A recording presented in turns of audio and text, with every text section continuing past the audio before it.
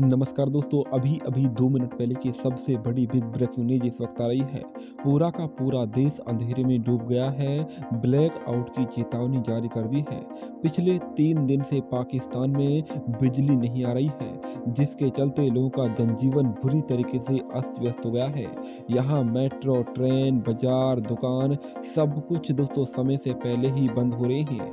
दोस्तों, फैक्ट्रियाँ तक बंद हैं, जिसके चलते पाकिस्तान के अंदर हाहाकार मच रहा है।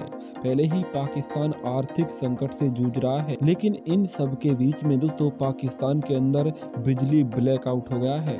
यहाँ पावर ग्रिड फेल हो गया है, जिसके चलते पूरे पाकिस्तान के अंदर बिजली व्यवस्था ठप हो गई है और कामकाज भी बुरी तरीके से प्रभावित हुआ है। सरकार सभी लोगों से अपील कर रही है कि समय से पहले ही आप मॉल, दुकान, बाज़ार बंद कर दें, क्योंकि रात के समय बिजली व्यवस्था नहीं है। पाकिस्तान के अंदर इस समय सब कुछ अस्त व्यस्त हो गया है। फैक्ट्रियाँ बंद हैं, बाज़ार, मॉल, दुकान शाम से पहले ही बंद हो जाते हैं। मेट्रो, ट्रेनों पर भी इसका असर देखने को मिल रहा है। आपको बता दूँ, पाकिस्तान इस समय आर्थिक संकट से जूझ रहा है।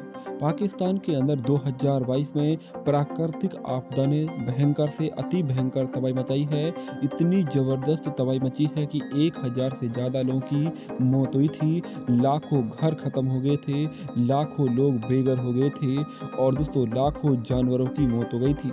2022 के अंदर कुदरत का कहर देखने को मिला था पाकिस्तान के अंदर।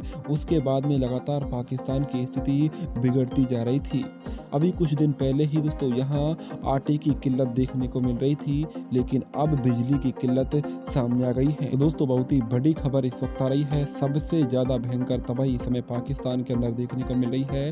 पाकिस्तान में ब्लैक आउट हो गया है। तो अलर्ट रहे, सुरक्षित रहें, अपनी राय कमेंट में लिखें, चैनल को सब्सक्राइब करें।